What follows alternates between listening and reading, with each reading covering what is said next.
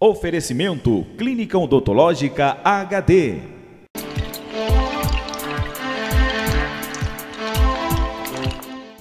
O GDF divulgou as estatísticas criminais do ano de 2015.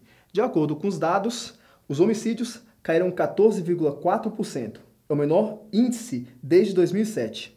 Já as mortes no trânsito caíram 18,5%, é o menor percentual desde 2000. Lembrando que o GDF não tem apenas boas notícias. Cerca de 1.800 viaturas da polícia estão fora de circulação, o que representa 43,2% da frota.